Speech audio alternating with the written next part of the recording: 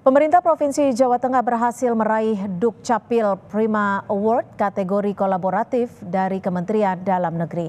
Penghargaan ini, saudara, merupakan buah peran aktif Dukcapil se-Jawa Tengah menjalani kolaborasi dengan banyak pihak dalam penyelenggaraan administrasi kependudukan.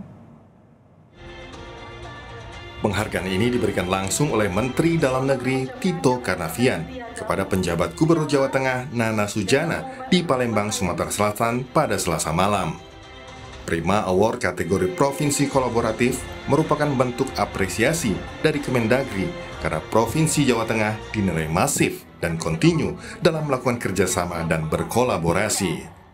Usai menerima award, PJ Gubernur Jawa Tengah menyebut Penghargaan ini merupakan hasil peran aktif jajaran Pemprov Jawa Tengah dengan banyak pihak.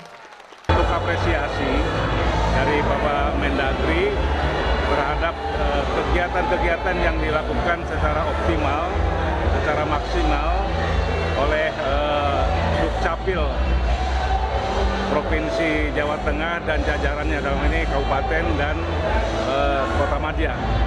Jadi mereka sudah melakukan langkah-langkah yang dalam khususnya dalam uh, melaksanakan kolaborasi kerjasama dengan berbagai uh, instansi ataupun lembaga yang ada di Jawa Tengah itu.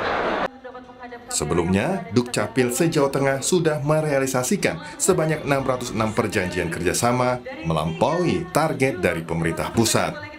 Jalinan kerjasama ini dalam rangka pemanfaatan data kependudukan yang dilakukan instansi atau OPD pengguna untuk dukungan pemilu 2024. PJ Gubernur menambahkan, pihaknya juga melakukan perekaman KTP elektronik bagi pemula dengan sistem jemput bola serta layanan penerbitan KTP elektronik bagi pemilih pemula.